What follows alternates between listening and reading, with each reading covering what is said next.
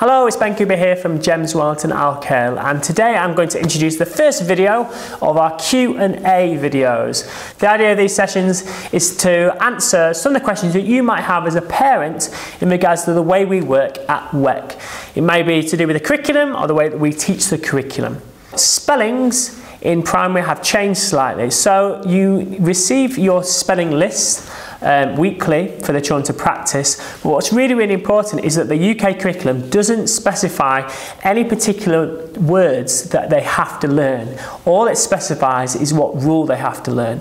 And that's really important. So when the children learn those spellings, they're not asked to learn just those word, the list of words, but also the rule, because they can be tested not just on those 10 words, but any word that fits with that rule.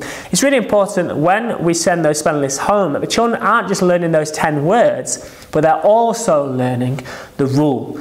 Because at the end of the year, when we get to our GL and progress test, the children might not be tested on any of those 10 words. They just might be tested on a word that fits within that rule. So it's really important now that we don't just teach the children in school about those words, but they also teach them and have a big focus on the rule, which is why we've introduced 20 minute spelling lessons into our timetable. So once a week in your year groups, the children will be taught that rule that fits in with the rule presented on the list of words that you receive at home. Through those spelling lessons, they will be taught not just about the rule, but also how the spelling rule might affect the meaning of the word. Uh, so the children get opportunity to look at words in a dictionary, they get to look at words in a thesaurus, and from that then they build an understanding of not just those 10 words, but also the meaning of the words and the rule itself.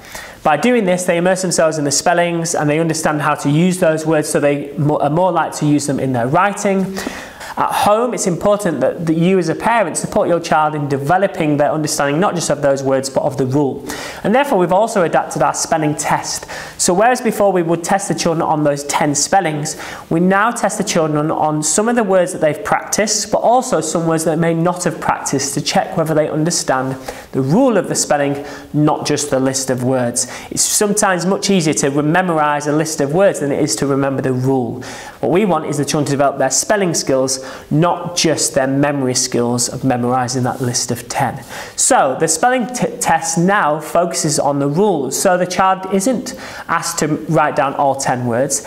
They're, they are dictated to with a full sentence. So the children get to, again, to understand the meaning of the word, but they also then are tested on the rules. So they may be asked to spell a word within that rule, but that wasn't on their list. But that's really important because at the end of the year, when the GL tests are conducted, the children will be asked to do a similar thing. So they'll be presented with a sentence with a blank space. They have to read the sentence and fill in the blank with a word, with a rule that they will have learnt that year, but not necessarily a word that was on the spelling list.